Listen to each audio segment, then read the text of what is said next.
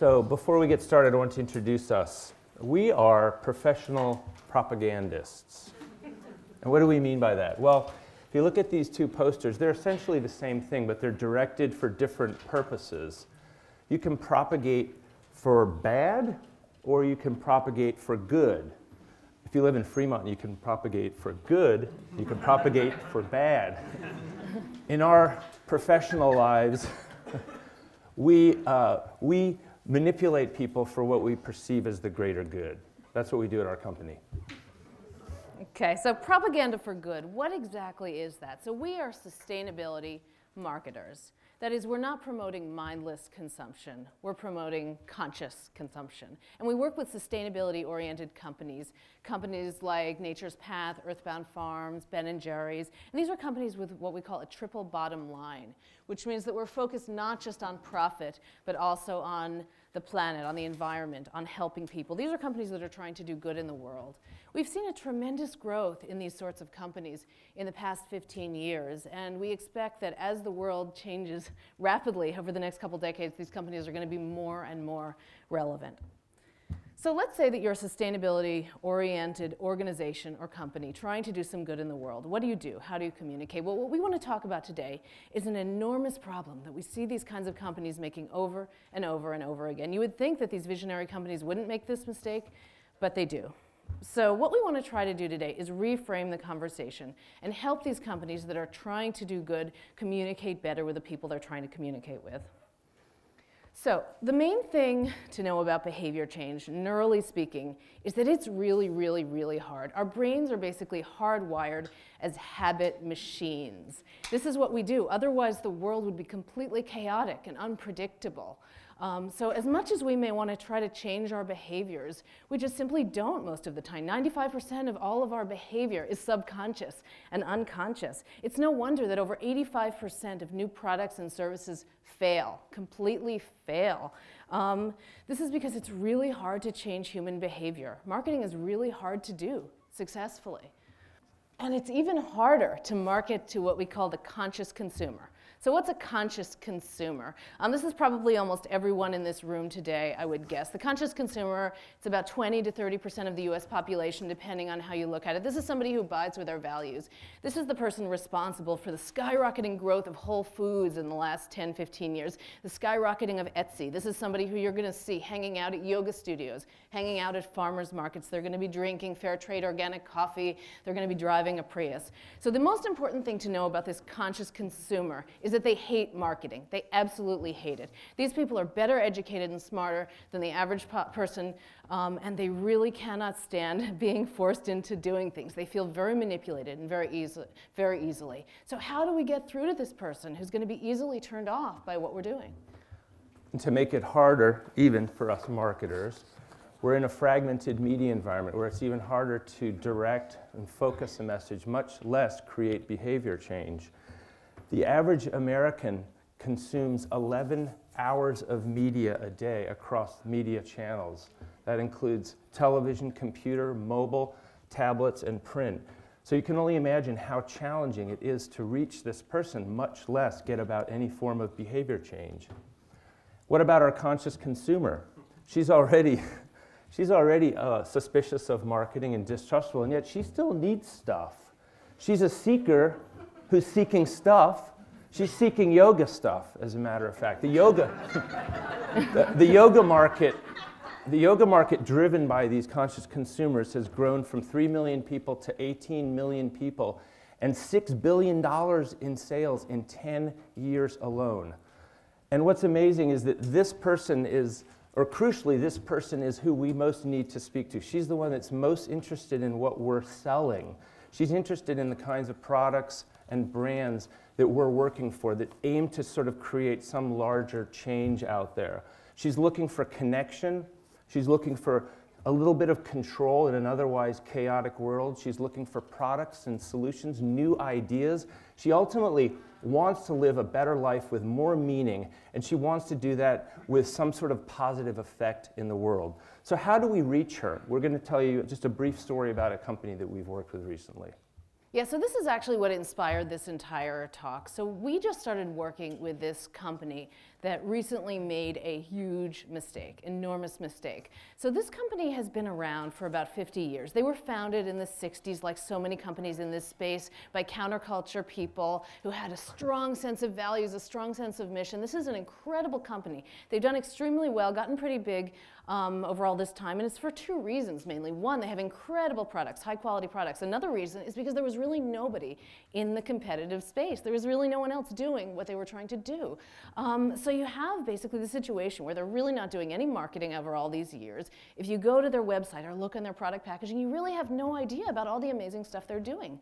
So you could have consumers who consume their stuff for years or even decades, and they have no idea about this company's strong commitment to organics or going beyond that to to considering the entire supply chain, working with communities all over, um, you know, basically having a lot of rich and strong culture. These companies have, co uh, consumers have no idea what these companies are actually, what this company is actually up to. So it's really, imagine a, a pre-written uh, tradition culture. Imagine that you're sitting around this campfire and you're talking to yourselves, basically. And this is what they had been doing all this time. There was really no way that people could access all of this information.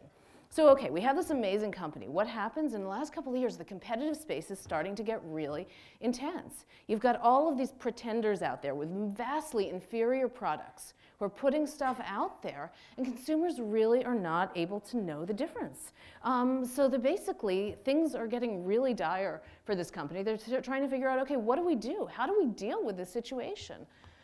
And so, what did they do? Well, they brought in people kind of like this. They brought in a traditional marketing firm that brought traditional marketing practices to what they do. Um, so that's what you're supposed to do, right? So here you've got this amazing counterculture company um, that brings in these folks, and let's talk about what happened.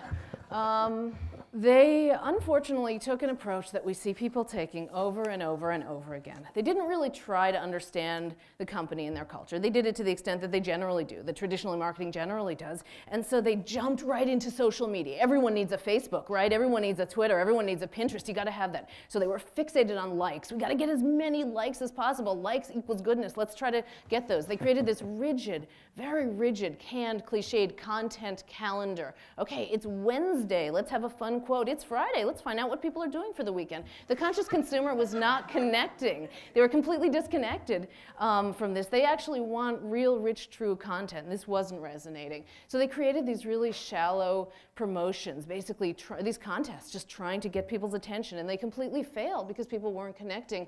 And then they tried harder. They used, ran these promoted posts to try to get people engaged, and instead they ended up um, getting all these really dubious likes, thousands of them from far-flung places like Malaysia and Slovakia and Singapore and Indonesia, places where this company was probably never going to be having any products. So it was a basically a complete fail, this whole thing. The company wasn't happy, the consumers weren't connecting, the whole thing was inauthentic.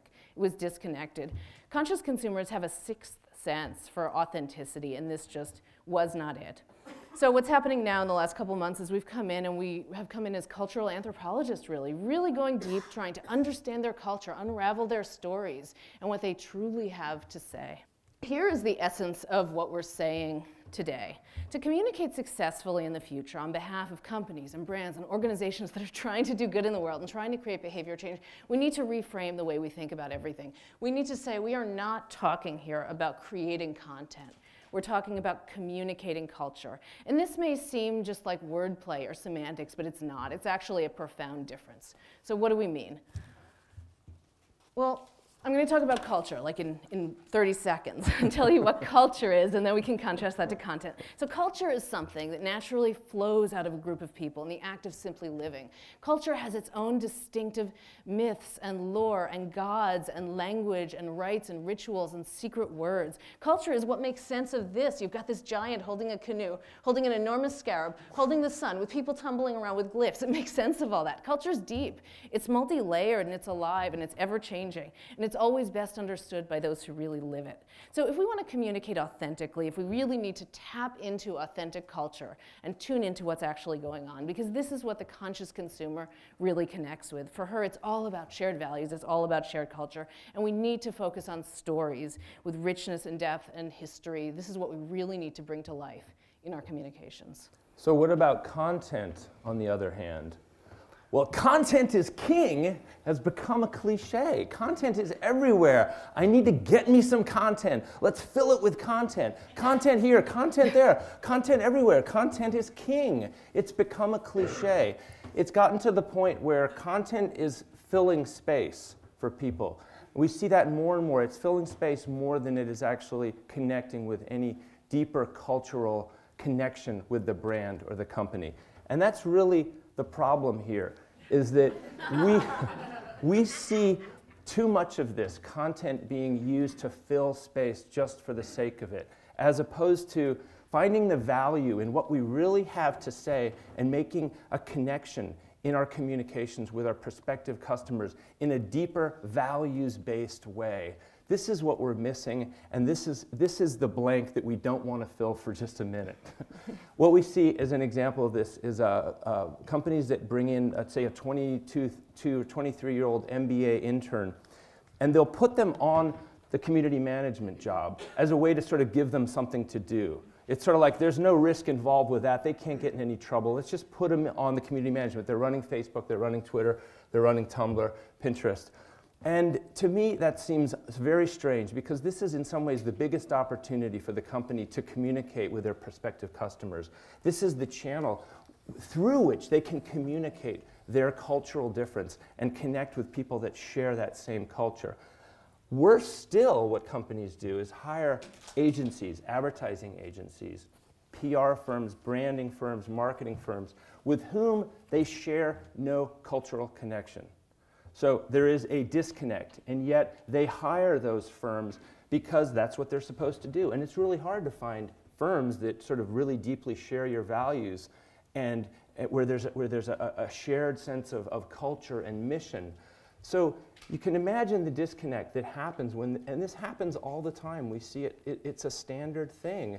We end up with the ad agencies or the marketing firms that can only go so deep at connecting with, with, those, with those customers. And this is, in the end, what we, we, we sort of end up with this idea in a nutshell, where you know, we've got Don versus Shaman, and uh, it's, it's, it's really a sad situation. So things are different. It's a different world out there today, and the conscious consumer is a, is a systems thinker. So she's thinking not just about the jacket, she's thinking more than just how it looks on her, and more than what she's saving. She's thinking about the company that made the jacket. She's thinking about the values of that company. She's thinking about where that jacket was made. She's thinking about the sourcing of that jacket, the end of life of that jacket. And so she's thinking about a lot more things. Which of these two ads do you think is going to resonate more with our conscious consumer? Which one has more cultural relevance to her? So we have to stop thinking about just creating content. We have to stop thinking about ourselves as marketers. We feel that anyone who speaks for a company in any way, whether they are an external agency or part of an internal marketing department, needs to start thinking of themselves as a minister of culture. And this idea is particularly powerful for values-based companies and organizations because these are the companies that actually care or are supposed to care about what they're doing. It's not just a matter of doing your job. And through this lens, you can really see what went wrong with this client of ours. Here they were, and they hired this organization to speak from them, to be their mouthpiece when it was not authentic at all. It was artificial, it could never feel authentic, and it was not going to serve the brand, the company, or the mission. So in the same way that co countries have ministers of culture that serve to protect and promote the culture of that country. We also believe companies need to think about having ministers of culture to protect and serve ultimately their culture. That is, in the long run, what's best for their survival. So, the Patagonia example again, this is one of their dirt bags. This is what they call their, their Patagoniacs, these people internally to the company that live, eat, and breathe the company. They climb, they surf, they fish, they snowboard. Uh, they, you know, they, they are the people at the helm of the social media and the community management tools within the company. They're the people that are disseminating culture. They're the people that are putting their authentic lives out there in these channels. So culture is ultimately not something that, uh, that, is, a, is a, a, disconnection, a professional dis disconnection um, an obligation, a professional obligation. It's something that is inevitably who we are. It comes out of who we are. It is who we are. This is, uh, uh, Chouinard speaks in his book about how uh, uh, just randomly on certain days around the campus in Ventura, an alarm will go off, uh, uh, you know, just in the middle of the day, and people across the campus will just get up from their cubicles, get up from their offices, get up from the lunchroom, just get up and walk out. They'll walk out of, the, in the middle of a meeting, they'll pick up their surfboards, and everyone will just head for the surf because ultimately that means that surf's up. And they know that they will have to get back to their job and finish, you know, when, when you know, later on that night or on the weekends. To me, that is an, the essence of what culture is all about. And if we think about this as a lens for companies, um, culturally, is it inherently and uniquely who we are? And is the communicator and the messenger so steeped in the culture of the company that it's inevitable that they will, that it will come out and, and they will communicate it as, as to who they are? And I think a great way to uh, end the quote, uh, end this talk is this quote from Rick Ridgeway. We don't think about marketing, we just tell our stories. Thank you.